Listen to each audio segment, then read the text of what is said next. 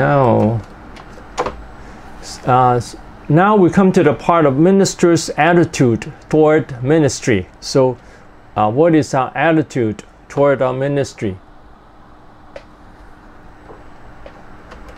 And uh, first, God is a plan for our lives and for our churches. Uh, this is very important. Uh, that that means our ministry is not an accident. It's not just something we started. It's something God has planned in eternity. In Psalm 139, 16 to 17, all the days ordained for me were written in your book before one of them came to be. How precious to me are your thoughts, God, how vast is the sum of them.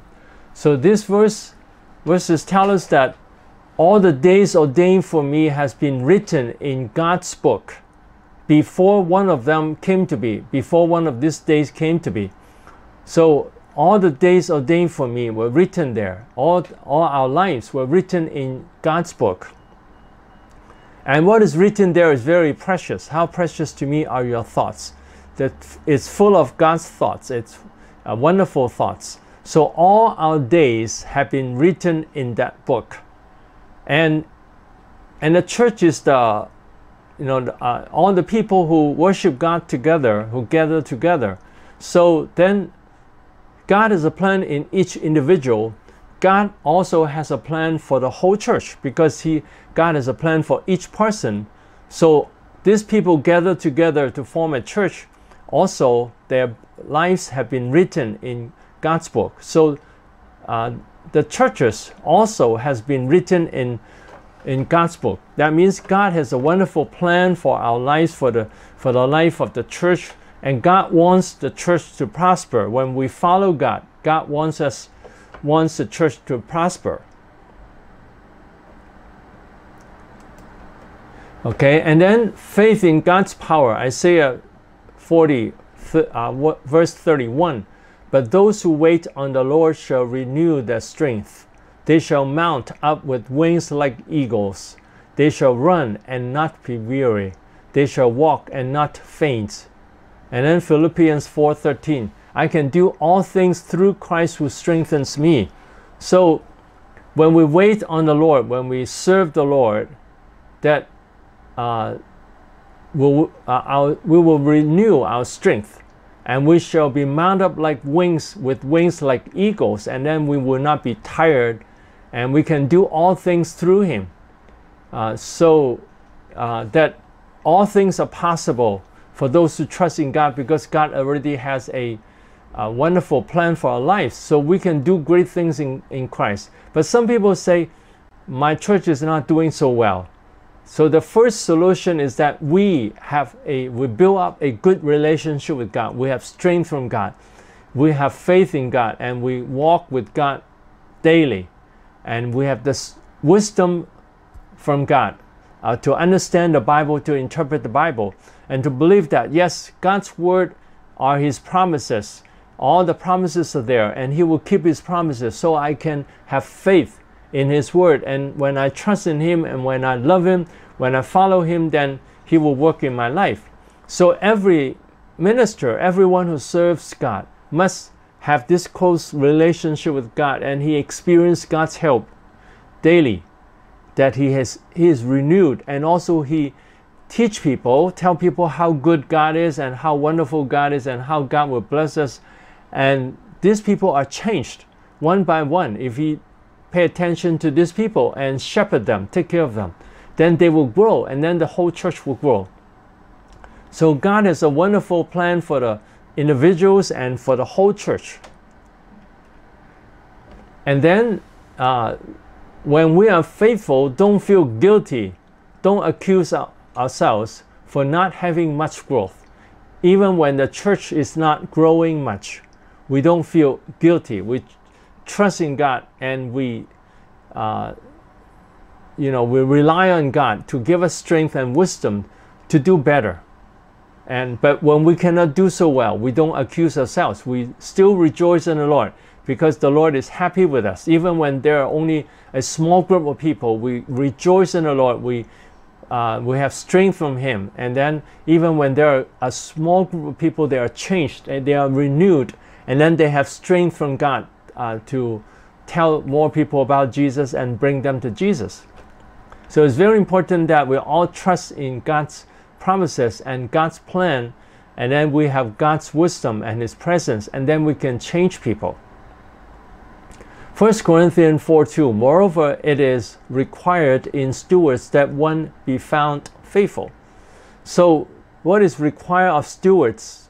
That, uh, that means uh, the person who is in charge of the family of God, that, that he is found faithful. So, when I try my best when relying on Christ, I don't have to live under guilt or under pressure. So, when I trust in God and I do my best, then I'm happy of what I've done and then I've been faithful and then God is happy with me. So I hope that we won't feel guilty because when we feel guilty, then we lose strength. Then we lose strength and we lose faith and we say, Lord, the Lord is happy with whatever I do for him. This is very important.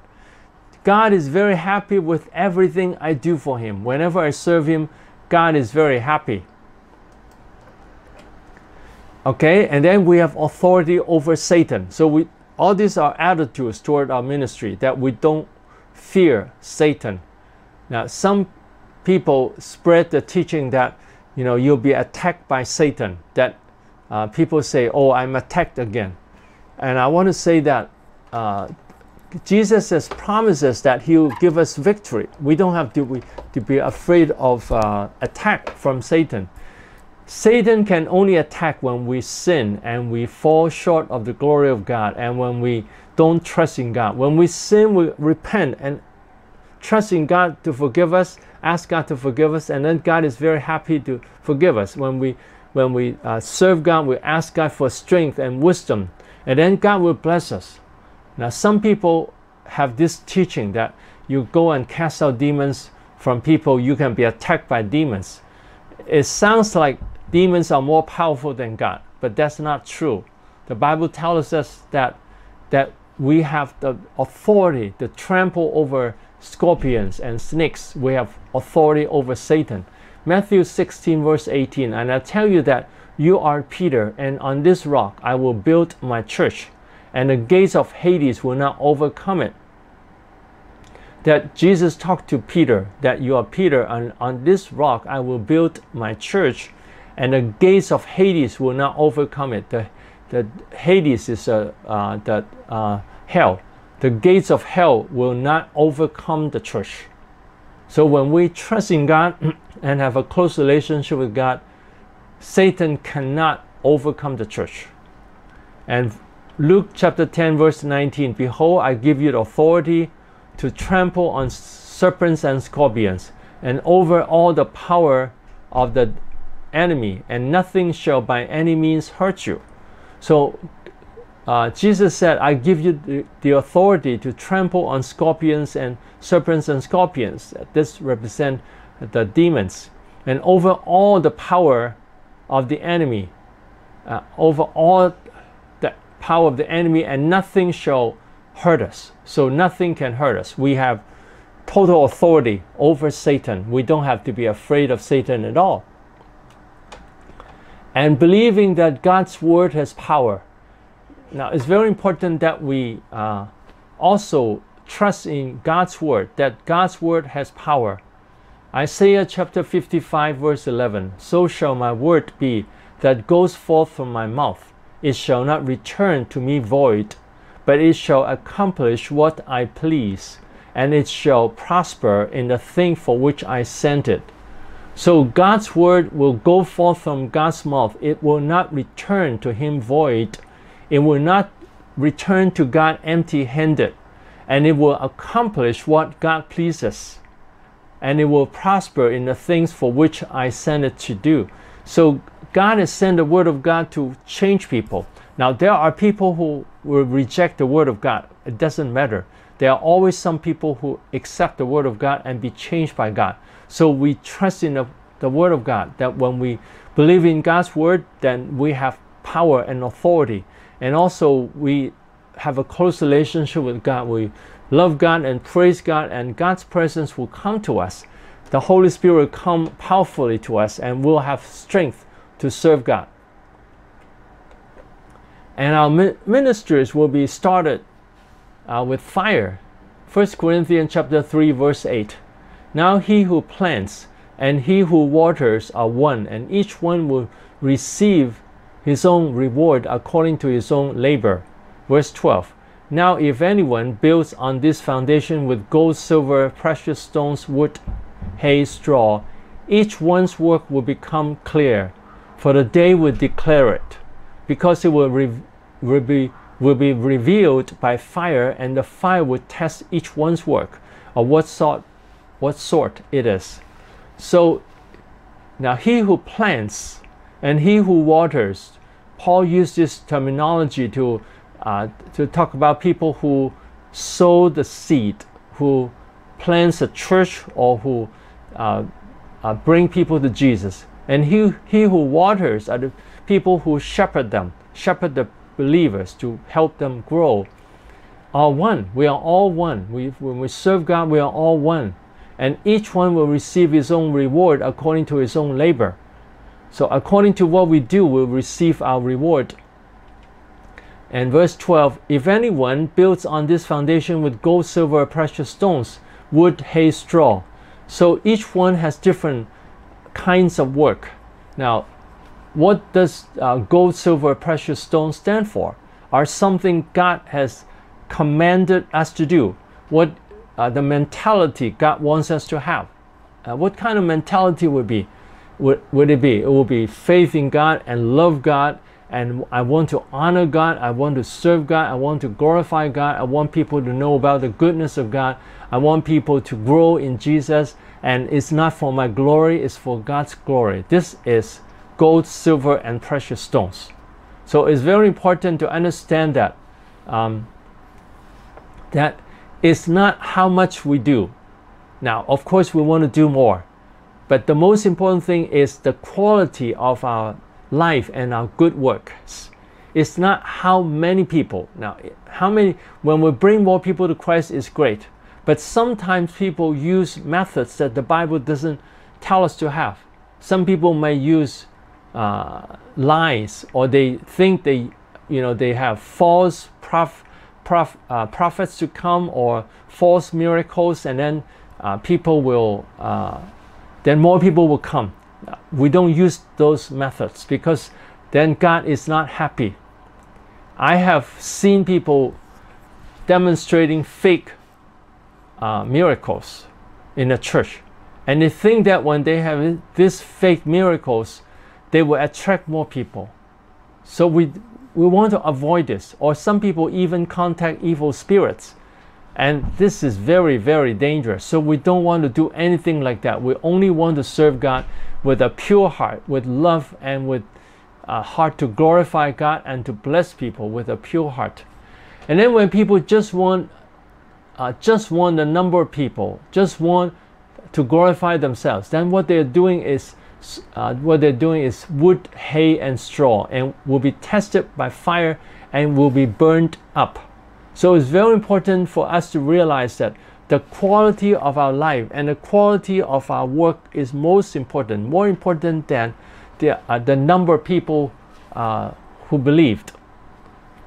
Now, of course, we want more people to believe, but it's very important that we uh, it's very important that we uh, build up on the foundation of Jesus Christ to love God and honor God with a pure heart, with a sincere heart, and to build up people to love God and glorify God. Everything we do is to glorify God, it's not to glorify ourselves.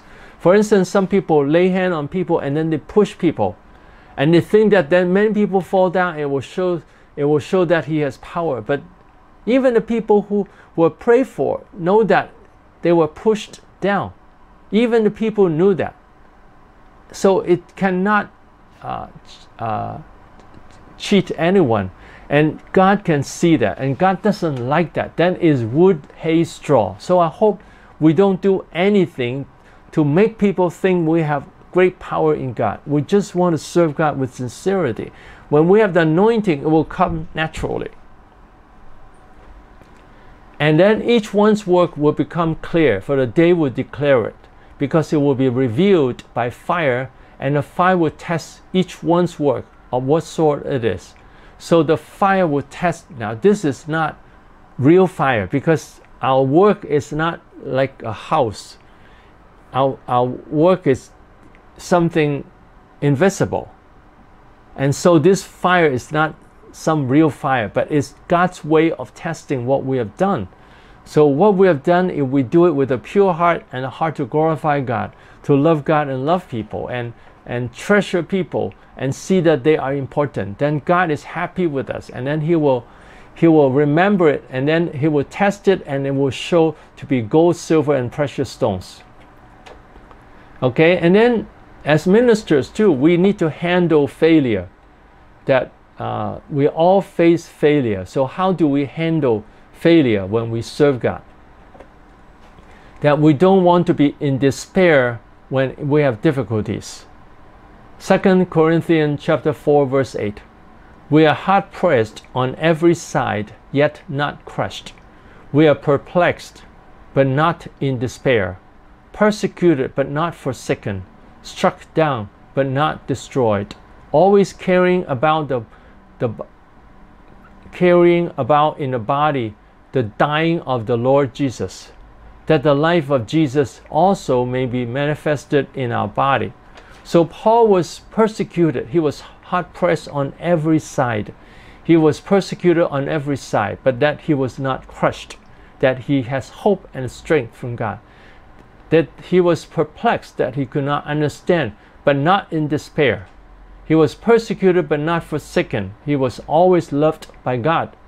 And he was struck down physically, but not destroyed, and always carrying about in a body the dying of the Lord Jesus. He's already always carrying uh, the dying of Jesus Christ, that he's dead with Jesus, he's crucified with Jesus, that the life of Jesus also may be manifested in our body, that we have the life of Christ, that we are we, we are crucified with Jesus and then we have the life of Christ. So, so even though when we are persecuted, even though when, when ministry are not doing so well, we still trust in God and not are not struck down. Then we have the peace and the joy of the Lord. Then we have strength.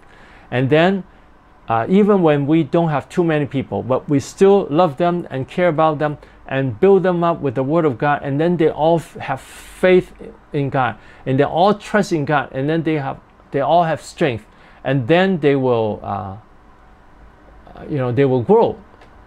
They will grow first spiritually, and then numerically, gradually, one by one, that they bring the friends, the family, uh, to Christ. And we also ask God for wisdom, how to grow. But when when it's low, we don't uh, we don't get discouraged. We say, uh, God knows what I'm doing, and God is happy with what I'm doing, and I can trust in God. Okay, now here are questions related to this part. So uh, now this covered the part that we talked about before. So essential qualities of people who serve God. First, relationship with God. John 15, 5. He who abides in me and I in him bears much fruit, for without me you can do nothing. If a person who serves God does not have a close relationship with God, what, what will happen?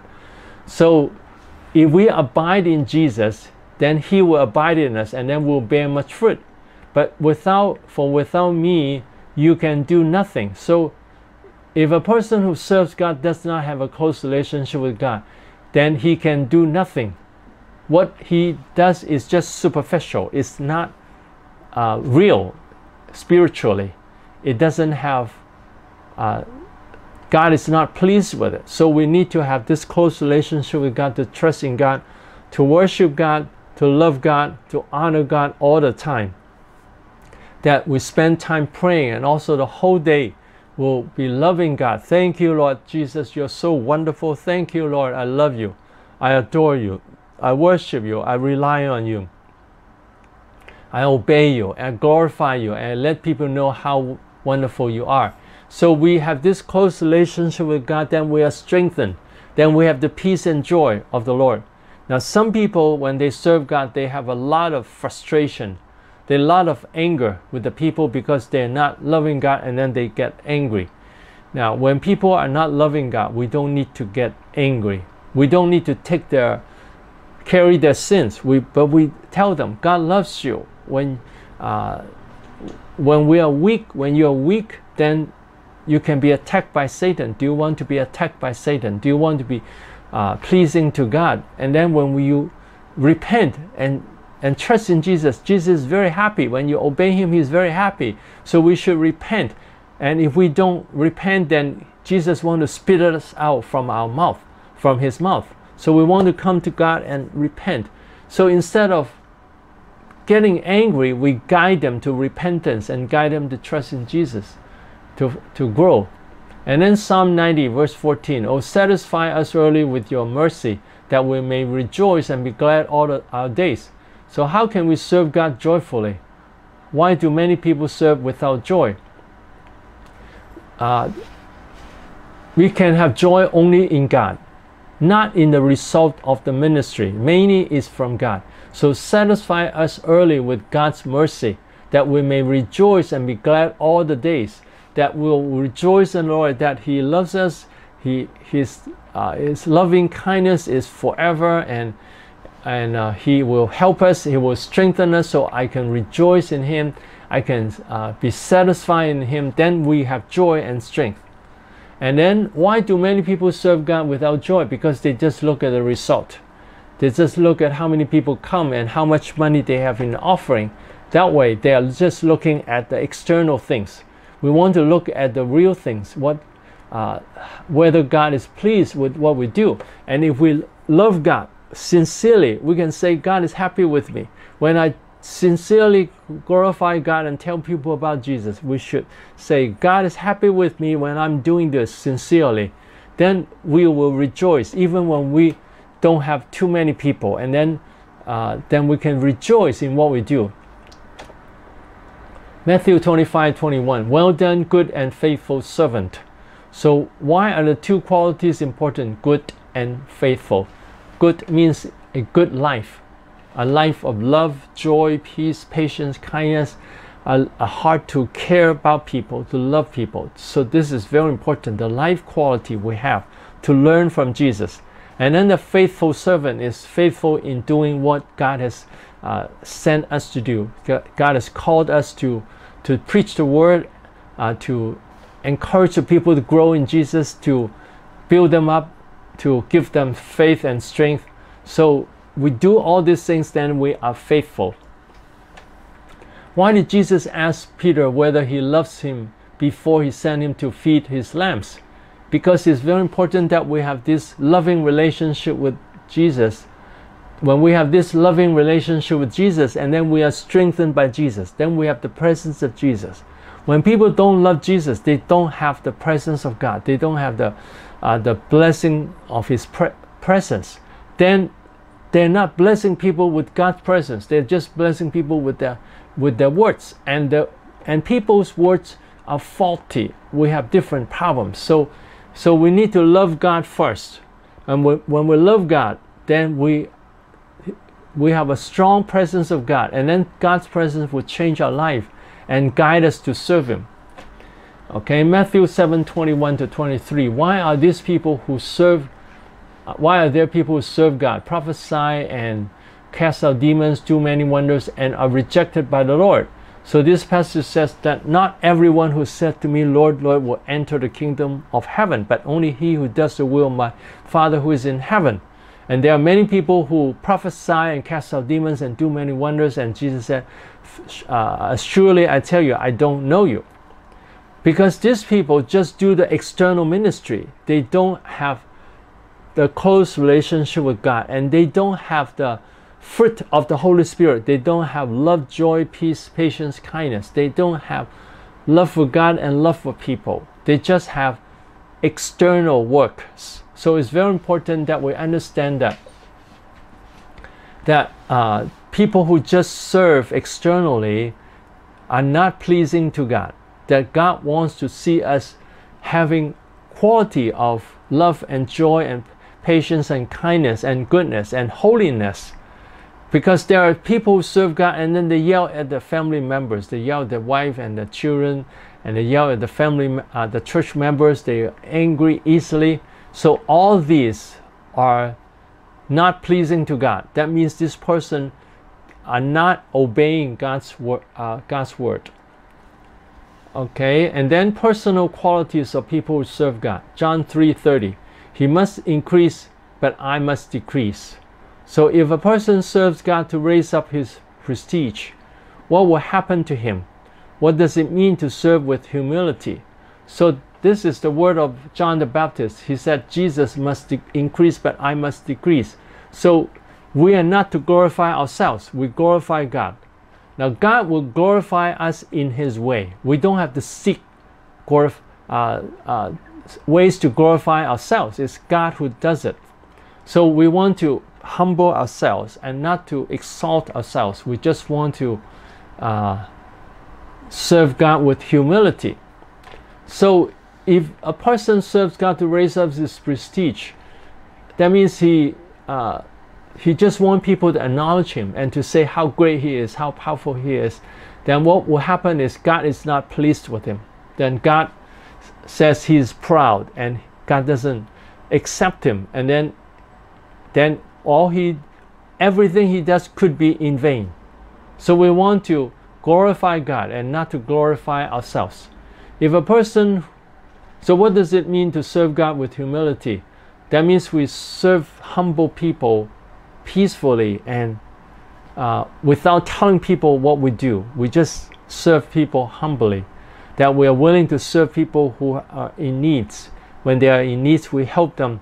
We don't ask for money. Now we can encourage them to give, but we don't ask for money for this for our ministry, uh, for serving them. We don't ask them to give us extra money. We just want to serve them diligently. And when we serve, we don't want to talk about how great we are. So we that way we are glorifying God and not glorifying ourselves. If a person who serves God lives in sin, what will happen? Then what will happen is he will have a more distant relationship with God and God's presence will go away from him and he's not blessed by God. And then what happen is God's uh, if a person continue not to repent, then God will say, I don't know you and he can enter hell. And that is very terrible. And there are people who are in ministry who can enter hell.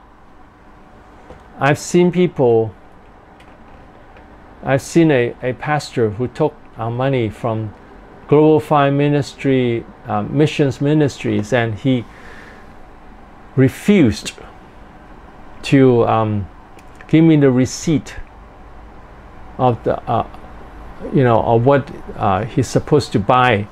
He did. He refused to give me the receipt, and he gives me all kinds of negative words. And I feel very sad for him, and I hope he does repent. I hope he doesn't go to hell.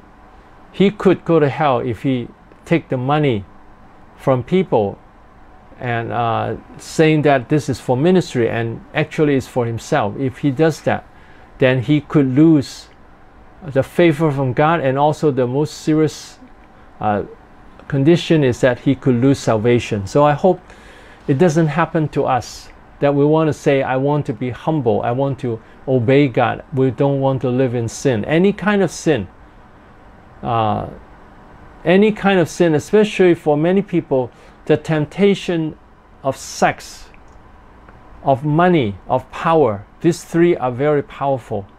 Many Ministers are destroyed by sex, destroyed by lust.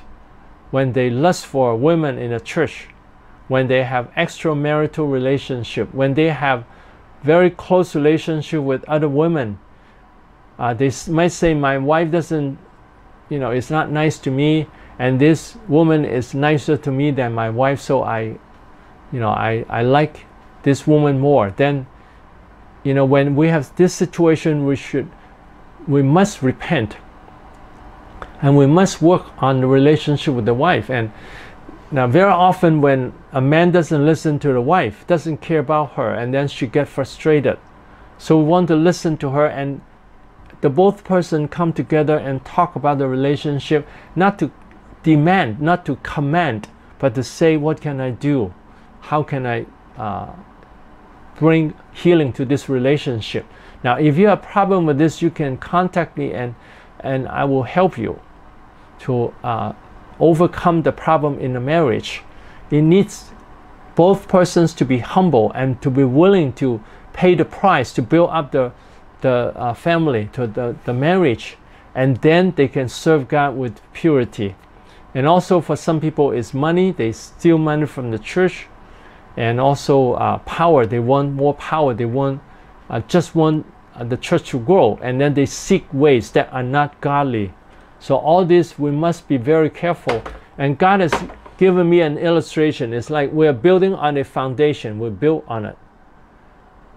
That is our ministry. We build on it. Or every Christian, whatever we do for God, we're building on the foundation of Jesus Christ. And then when we sin, then we're tearing down what we built. So we build and then we tear it down. We build and then tear it down. Then it's in vain.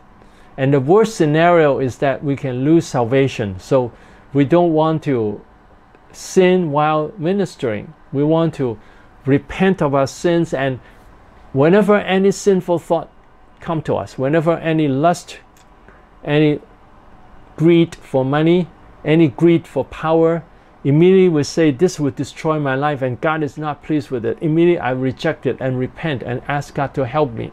So it's very important that we uh, be sensitive, that we become sensitive to any kind of sinful thoughts in our mind. Immediately we stop it. That's the key to victory over sins, that we immediately stop the sins whenever we have the sinful thought. Okay, and then Matthew 11 28. Come to me, all you who labor and are heavy laden, and I will give you rest. Take my yoke upon you and learn from me, for I am gentle and lowly in heart, and you will find rest for your souls. So this verse says that come to me, come to Jesus, all you who are labor, who labor and are heavy laden. So when we are heavy laden, when we have burdens, we should come to Jesus, and Jesus will give us rest, will give us peace, and take away our burdens. And take my yoke upon you. That take my yoke means to serve uh, God with Jesus. Yoke is what is put on the shoulder and the neck of a, an ox to pull the plow. And so this is Jesus' yoke. We serve him. And Take my yoke, serve God, and then learn from Jesus, learn from his lifestyle. For Jesus is gentle and lowly in heart. He's very gentle and humble. And you'll find rest for your souls. Then you'll find rest in your, for your souls. Now, why do many people serve God with burdens? And how can we serve without burdens? So, why do many people serve God with burdens? Because they're carrying the burdens themselves. They think it's their own ministry. They didn't realize that it's the ministry of God. It's the ministry of God. So we should not carry the burdens. When the ministry does not grow, we come to the Lord. We come to the Lord with the people and seek God. Seek God for help and strength and not to uh, carry the burden. When we carry the burden, then we then we will be burdened and we don't have strength. And how can we serve without burdens? That we relax in God and trust in God and rejoice in God and have a close relationship with God. Then we will serve without burdens. Then we say it's God's responsibility. And then if the church is not growing well, we still have a close relationship with God and build up the relationship uh, of everyone with God. That we want to help people in a group and also help them individually, help them in a small group that we help each one to grow spiritually. And when they grow spiritually, and then the church will grow. When they love God more and they have strength from God and they learn how to glorify God and tell people about Jesus and how to pray to have strength from God, then they can help other people. So, and then we'll say, even when the growth growth doesn't come quickly, we still trust in God and we relax in God and God is responsible. It's God's ministry. Then we won't serve God with burdens. Romans 12:15 Rejoice with those who rejoice and weep with those who weep. If a person who serves God does not feel the feeling of the pe- people, what will happen? So, as people who serve God, and as husbands and wives too, we want to rejoice with those who rejoice. We rejoice with the people, the members who rejoice. We want to rejoice with our spouse, and weep with those who weep. We weep with uh, that means we feel sad for people who are weeping, and also when our spouse is unhappy, we weep with them. We feel sad with them. So we feel the feeling of people. This is very important that we that we imagine we were that person. How would we feel? If I were that person, how would I feel? So if a person who serves God does not feel the feeling of the people, what will happen? What will happen is his message will be impersonal. It's just theory because he doesn't have love for the people. If a person serves God, you know, he has compassion for the people, he will feel the feeling of the people. And then his words will carry, will talk about the burdens of the people, who understand, he understand the needs of the people, and then his words will comfort the people. He will be more person oriented instead of task oriented. Task oriented means just to do the job, just to do the ministry instead of caring for the people. We want to care for the people and help them to grow. When we help them to grow and then they see our love for them, then they will grow. James 1:19 So then my beloved brethren let every man be swift to hear slow to speak so if a person who and slow to anger also okay if a person who serves God does not listen to people what will happen what is the importance of, of listening so is we should be swift to hear and slow to speak and slow to anger and if a person does not listen to people, the person says, the people says, well, um, I don't understand your message. I don't understand how to apply this teaching. How can you make this happen in your life? And how can we trust God? How can we have strength from God? And then the minister doesn't listen and he just yell at people and say, just do it, just do it. Then he's not listening to the needs of the people and then the people don't feel loved so we want to listen to the people and care about them and uh, so listen to the to the uh, to their needs to their requests to what they don't understand then we want to respond to them then we are connected to the people in the ministry it's very important to be connected to the people that our ministry, our life is connected to the people. We're not just serving uh, like we are high above the people. Now, our spiritual life should be high, but our connection people with the people should be right where the people are. We should be connected with the people right where they are. We understand how they are. We understand the difficulties. We understand their feelings. Then people will feel connected. And then our message will not be just theory.